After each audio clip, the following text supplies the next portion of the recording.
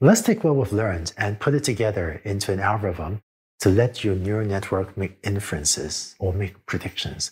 This will be an algorithm called forward propagation. Let's take a look. I'm going to use as a motivating example handwritten digit recognition. And for simplicity, we're just going to distinguish between the handwritten digits 0 and 1. So it's just a binary classification problem where we're going to input an image and classify is this the digit 0 or the digit 1. And you get to play with this yourself later this week in the practice lab as well. For the example on this slide, I'm going to use an 8 by 8 image. And so this image of a 1 is this grid or matrix of 8 by 8 or 64 pixel intensity values, where 255 denotes a bright white pixel and zero would denote a black pixel and different numbers are different shades of gray in between the shades of black and white. Given these 64 input features, we're going to use a neural network with two hidden layers, where the first hidden layer has 25 neurons or 25 units. Second hidden layer has 15 neurons or 15 units.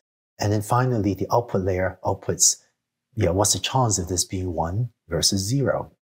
So let's step through the sequence of computations that the neural network would need to make to go from the input X, this 8 by 8 or 64 numbers, to the predicted probability A3. The first computation is to go from X to A1, and that's what the first layer or the first hidden layer does.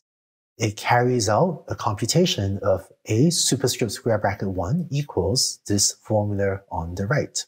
Notice that A1 has 25 numbers because this hidden layer has 25 units, which is why the parameters go from W1 through W25 as well as B1 through B25.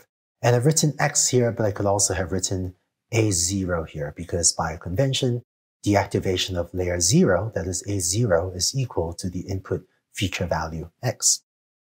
So that lets us compute A1. The next step is to compute A2.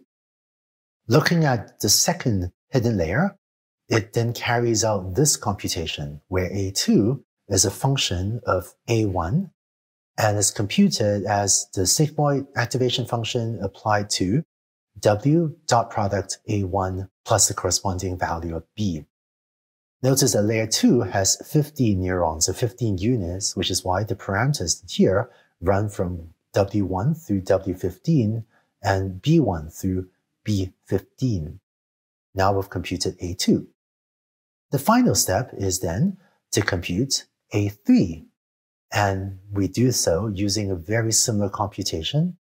Only now this third layer, the output layer has just one unit, which is why there's just one output here. So A3 is just a scalar. And finally, you can optionally take A3 subscript 1 and threshold it at 0.5 to come up with a binary classification label. Is this the digit 1? Yes or no?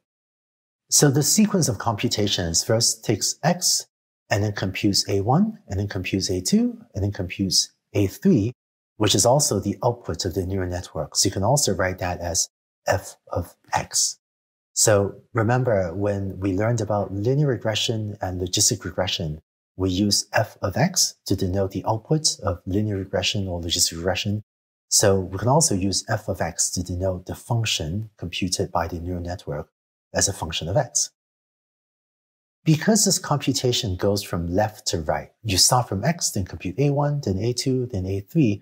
This algorithm is also called forward propagation because you're propagating the activations of the neurons. So you're making these computations in the forward direction from left to right. And this is in contrast to a different algorithm called backward propagation or back propagation, which is used for learning. And that's something you learn about next week.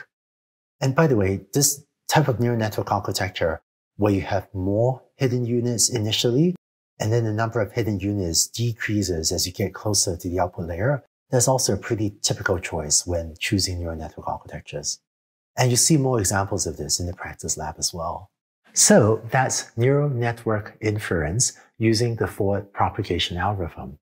And with this, you'd be able to download the parameters of a neural network that someone else had trained and posted on the internet. And you'd be able to carry out inference on your new data using their neural network. Now that you've seen the map and the algorithm, let's take a look at how you can actually implement this in TensorFlow. Specifically, let's take a look at this in the next video.